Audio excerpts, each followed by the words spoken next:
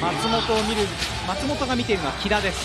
あ張本選手大塚選手が来てますね、えー、大塚振り向きざま今日もオンファイヤーです。ずっと時計が流れ続けています。杉本。いやーノーマークだファールしないとダメですね長崎今のシーン大岡奪っています。またターンオーバーから。マットボンズユーロステップを踏んでうわ決まったエンドワン。静寂の中で。マットボンズのプッシュから。ここでファールが鳴っています。そしてボードを使っての。さあディフェンスリバウンド取ってから速い展開というのも持ち味。松本。松本アタック。いいアタックだ。落ちています。あるチームこれファール使ってもいいかもしれません。松本アタックだプットバックしました。ジェフギブスです狩俣そしてアギラールに打たせました。持ちます。わあアシュリー走って走っている。アシュリー。アシュリー丁寧にレイアップを決めています。狩俣そしてアギラール。簡単には打たなかった。狩俣が打ってくる。決めた狩俣もスリーを決めました。いやータフショット。破っていきましたリードチェンジ。松本健二だ。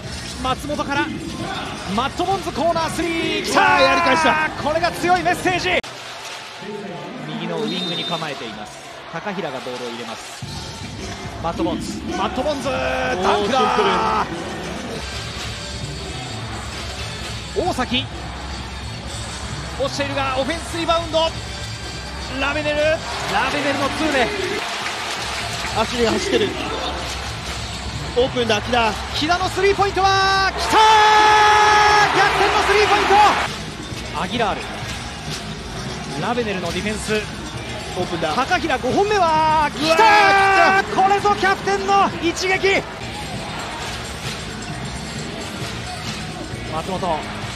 外マットボンズ。決めた再逆転しました。長崎ベルカ。杉本。アシュリー。ちょっと滑った。スリップだ滑って松本が運ぶ。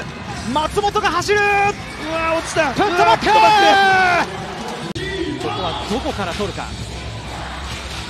杉本か。杉本スピンムーブ。ねじ込んできました。最後左手。ディープスリーを打ってくる。落ちた。時計が進んでいく。松本。松本が走る。ファールをさせない。そして狩俣が叫んだ。試合終了